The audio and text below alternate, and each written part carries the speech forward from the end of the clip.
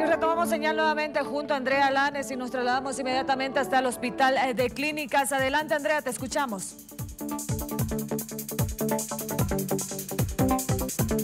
Gracias, Gabriela. Así es, continuamos en el Hospital de Clínicas y la fila sigue creciendo y sigue creciendo ya que a cada instante llegan personas que buscan ser atendidas y buscan una ficha para ser atendidos en alguna especialidad. Pero nos encontramos con un caso algo particular con doña Olga, quien está pernotando por atención médica hace dos semanas atrás. Vamos a hablar con doña Olga, quien se encuentra afligida porque hace dos semanas atrás que no es atendida por el Hospital de Clínicas, ya que le mandan de un lugar a otro para diferentes especialidades.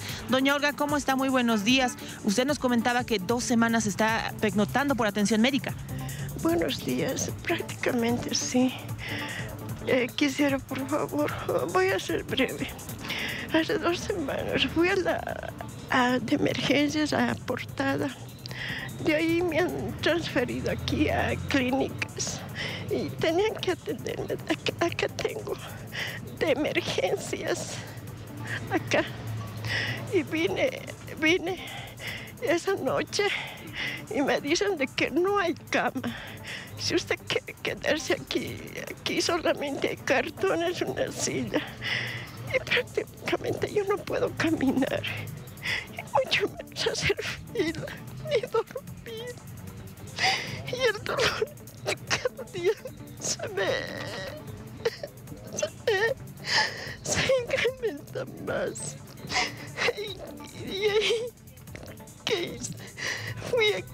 Vine aquí otra vez. Y ahí me han, derivado que vaya aquí al especialista ginecología, pero mi caso no es ginecología traumatología porque no puedo caminar.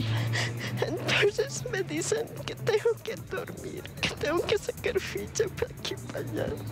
Yo quisiera, por favor, la prensa que me colabore, que, para que de una vez me internen, porque prácticamente ya no puedo hacer ni fila y mucho menos sacar ficha.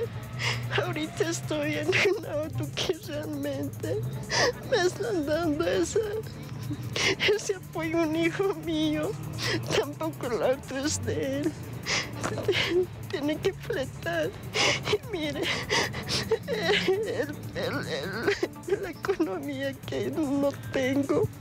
Quisiera, por favor, que me colaboren. Me atienden en emergencia porque ya no puedo hacer filas. Ahorita está haciendo fila mi hijo, pero lo mismo que nada va a ser. Por favor, quisiera rogarle a la prensa y quizás a otros medios para que de una vez me internen, porque ya no puedo caminar y me estoy, y me estoy cansando mucho. Y, mi cuerpo ya no resiste para estar caminando todos los días. Muchas gracias, por favor. Quisiera que me colaboren. Necesito ir directamente en emergencias. Eso sería todo. Gracias. Muchas gracias por atenderme. Porque he llamado. Muchas gracias, doña Olga, más bien a usted por su tiempo y contarnos un poquito de su historia. Como le han escuchado, ella está preguntando por atención médica de emergencia, en este caso, para ser atendida en el hospital de clínicas, pero no, no ha sido atendida hasta ahora porque le han derivado acá tras un accidente. Ella no puede caminar, entonces su hijo lleva también ayudándole a dos semanas. Algo que nos llama la atención poderosamente también es que en esta jornada yo les adelantaba que en la mañana un adulto mayor ha salido casi expulsado del lugar después de que ha recibido su ficha correspondiente. Él debería ser atendido a las 9 de la mañana, según nos comentó el adulto, ¿no? Pero el pese a que se ha descompensado acá en puertas del Hospital de Clínicas, después de recibir la ficha, lo han sacado, no les ha importado y le han puesto en la banqueta. Este es el panorama lastimosamente que tenemos a esta hora de la mañana. vemos que hay pacientes que necesitan ser atendidos, pero no consiguen ser atendidos incluso están días buscando y vienen desde provincias, desde muy lejos para acceder a una especialidad, a una ficha para ser atendidos. Ese es el panorama lastimosamente. Con esta información nosotros continuamos con ustedes.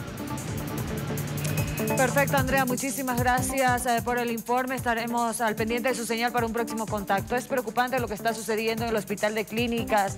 Este problema, esta problemática es de día a día. Las filas son interminables y lastimosamente los que pagan los platos rotos y los más afectados son las personas de la tercera edad. Continuamos con más de la primera.